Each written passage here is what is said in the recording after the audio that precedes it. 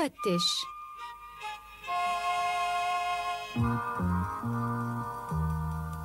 في هذه الغابة الجميلة تعيش حيوانات كثيرة بسعادة وانسجام.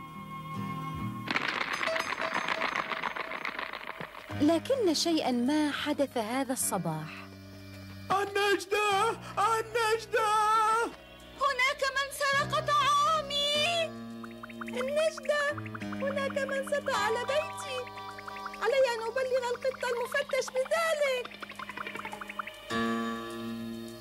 يبدو أن الغابة قد تعرضت للنهب وكانت الحيوانات تعتمد على القط المفتش في كشف السرقات. والآن حدثني عن الذي حدث بالضبط مرة واحدة.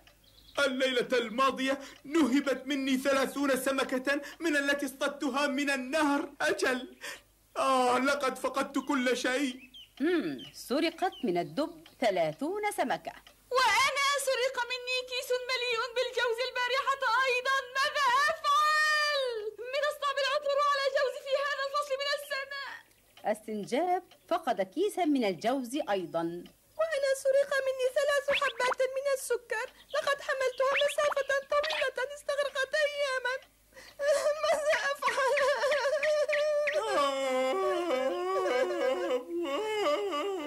كفى بكاء كفى بكاء مم. لابد أنه لص ذكي لقد سرق الكثير وفي ليلة واحدة هذا عجيب عجيب حقا حسنا فلنبحث عنه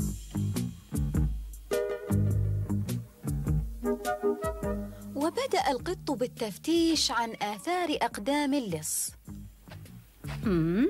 مم.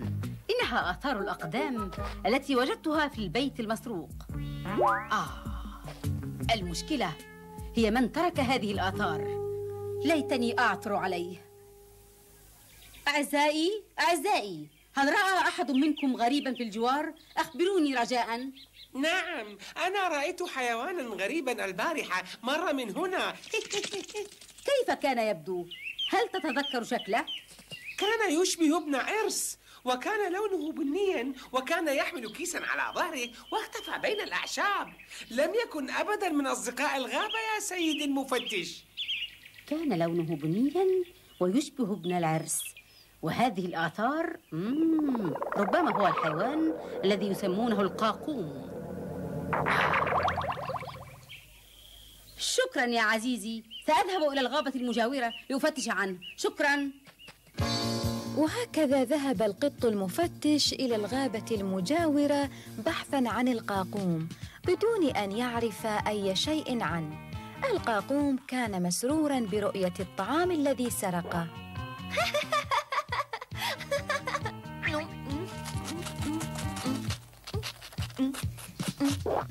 آه هذا الجوز رائع.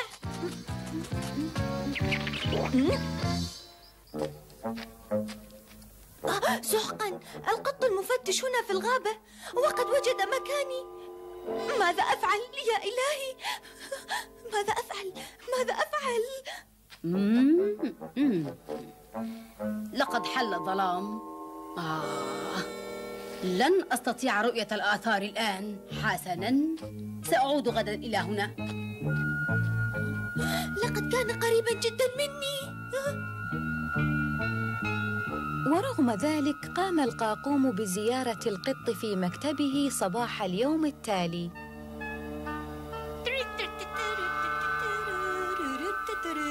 صباح الخير أيها القط أنا القاقوم. صباح الخير. هل أستطيع المساعدة في القبض على لص ليلة البارحة؟ أقدم خدماتي. لا شكرا. لقد انتهيت من هذه القضية. أشكرك جدا. مع السلامة. هكذا إذن. مع السلامة.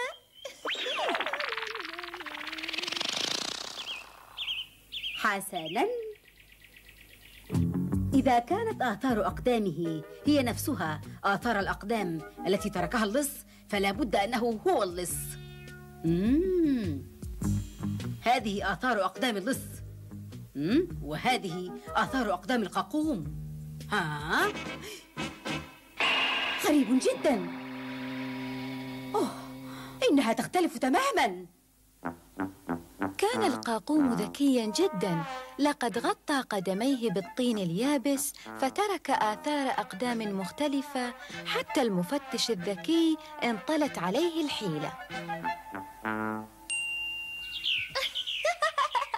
أستطيع الآن أن أرتاح.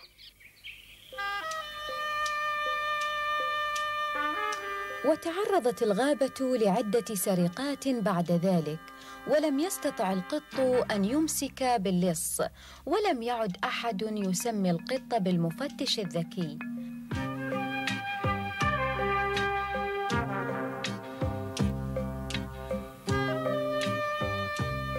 لكن القط استمر في البحث عن آثار الأقدام ورغم ذلك لم يستطع العثور عليها بسهولة.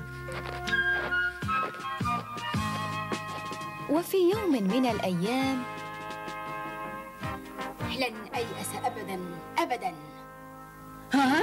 وجدتها.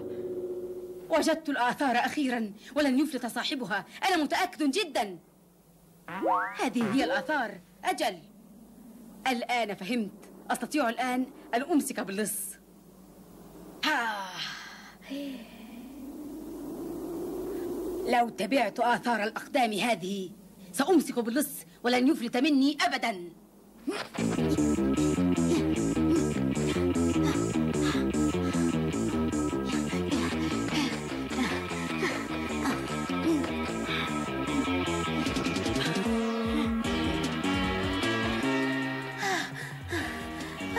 هذا إذن هو بيت اللص. حسنا.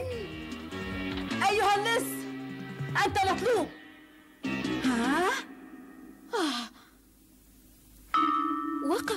مندهشا. كان في البيت حيوان غريب أبيض اللون.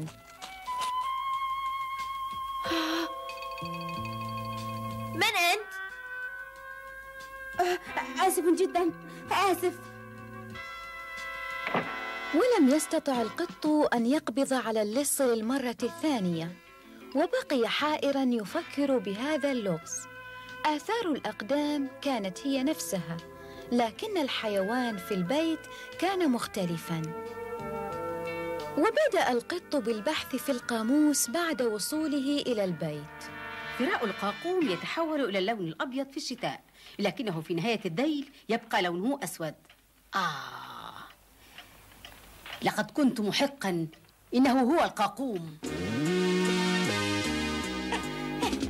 سارع القط إلى بيت القاقوم عندما علم بسره آه لن يستطيع الاحتيال علي بعد الآن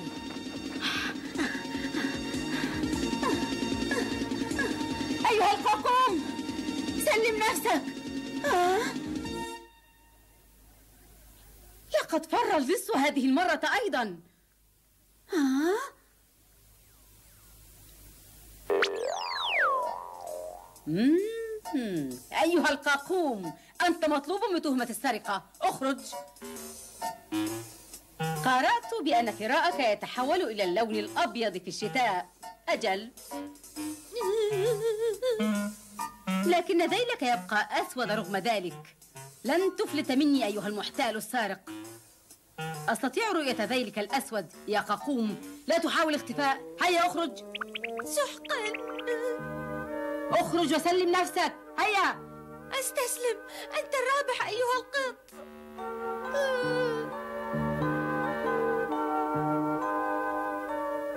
وهكذا تم القبض على اللص وعاد الجميع في الغابة ينادون القط بالمفتش العبقري.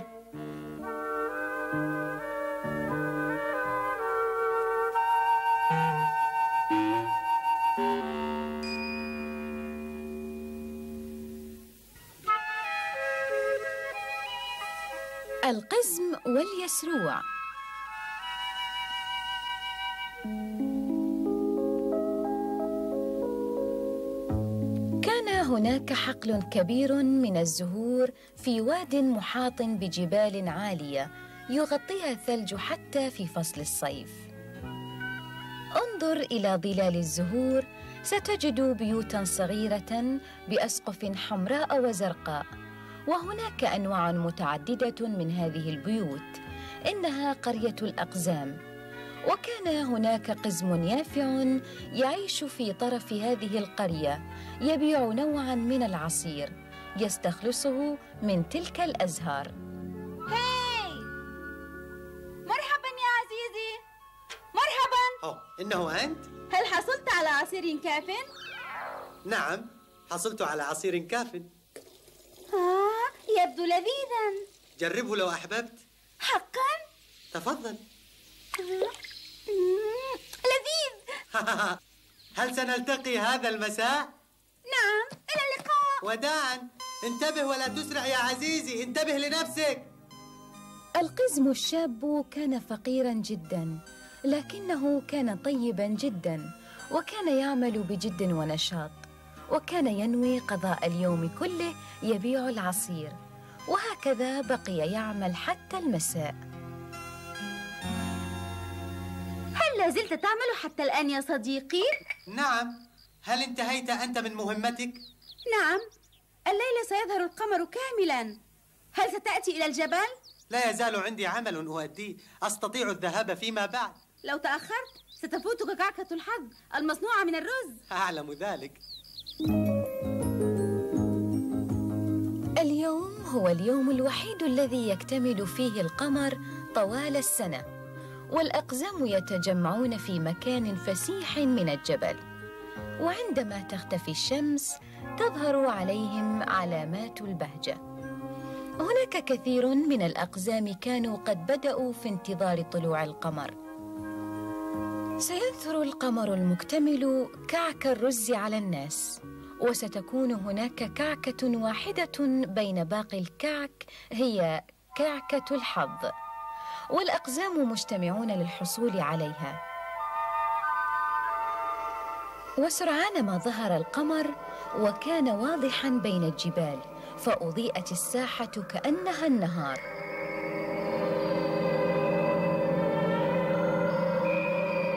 وعندما ارتفع القمر تماما تحلق الأقزام وربطوا أيديهم ببعضها.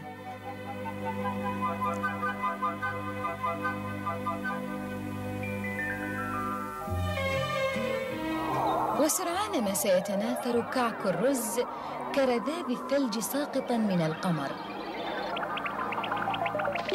وهكذا تزاحم الناس للحصول على كعكة الحظ. ها هي الكعكة. أوه. لقد أخطأتها ثانية. انظر يا صديقي لقد حصلت على الكثير منها. حسنا فعلت. لقد حصلت على الكثير. أنت ترغب بالحصول على كعكة الحظ من بينهم. بالطبع. ألا تريد واحدة؟ ألا تريد منها؟ سأحصل على ما أريده بنفسي. وهكذا حصل الجميع على الكعك عدا صاحبنا بائع العصير. لم أحصل على كعكة واحدة لا يهم. سأحصل عليها في السنة القادمة. في تلك اللحظات سقطت كعكة واحدة أمام الشاب آتية من القمر. أوه. أوه. أيها القمر الجميل شكرا لك. أنت تغمر الجميع بحبك وكرمك. أعطى القمر كعكة الرز إلى الشاب وصعد بعيدا خلف الجبال. ذهب الأقزام إلى بيوتهم يحملون الكثير من كعك الرز. وكان هناك يسروع جائع يقف في الطريق إلى القرية. أرجوكم ساعدوني. ماذا حدث لك يا يسروع؟ سأموت من الجوع. أعطني كعكة مما لديك. أرجوك. لا أستطيع. لقد تعبت بالحصول عليها. أرجوك. واحدة تكفيني. لا لا لا لا لا لا لا لا لا. أرجوك ساعدني. ماذا حدث لك يا يسروع؟ أنا جائع ولا أقدر على الحركة. لا بأس يا يسروع. تستطيع أن تأكل كعكة الرز هذه. لكنك لا تملك غير واحدة. لا يهم. سأحصل على واحدة أخرى السنة القادمة. شكرا لك. أنا مدين لك بهذا. أعطى الشاب كعكته الوحيدة لليسروع. كيف هي؟ هل أحببتها؟ كانت لذيذة جدا. أشعر بالتحسن الآن. شكرا. هذا جيد. لابد أنها كانت كعكة الحظ. ممكن لأنها ساعدتك وأنقذتك من الجوع. حظا طيبا يا يسروع. شكرا جزيلا. وداعا يا يسروع وداعا. شكرا لك. سوف لن أنسى صنيعك هذا. شكر اليسروع الشاب عدة مرات وسرعان ما حل الشتاء على حقول الورد الجبلية وغطى الثلج القرية وانتظر الناس حلول الربيع. وأخيراً بدأ الثلج بالذوبان وامتلأت الحقول بالزهور.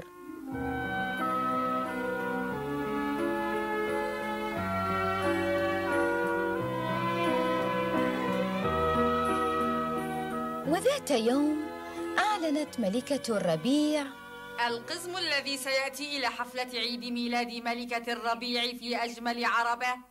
سيصبح ملك الربيع. سأصبح أنا ملك الربيع. لا بل أنا لأنني أغنى منك.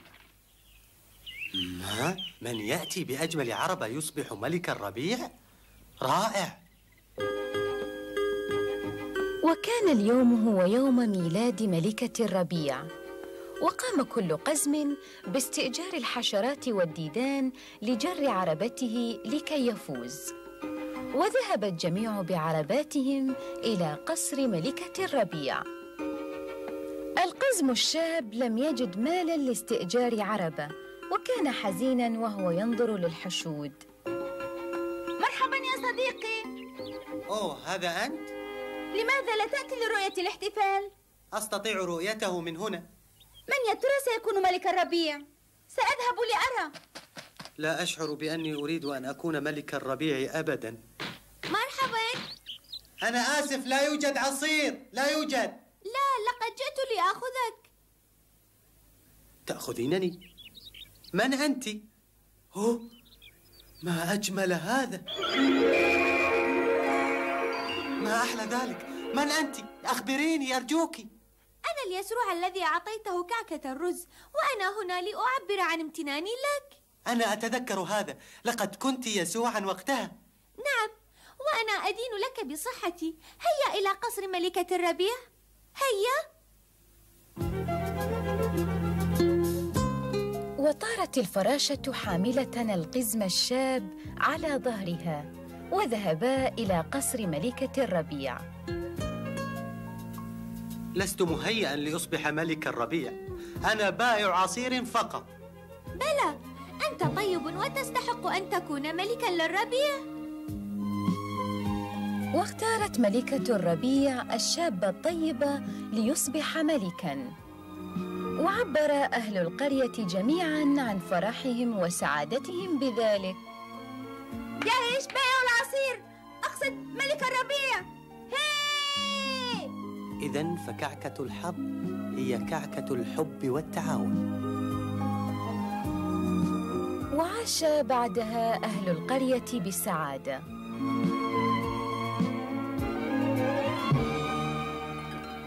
وعندما تشاهدون ضبابا في أعلى الجبل فاعلموا أن الأقزام يطبخون.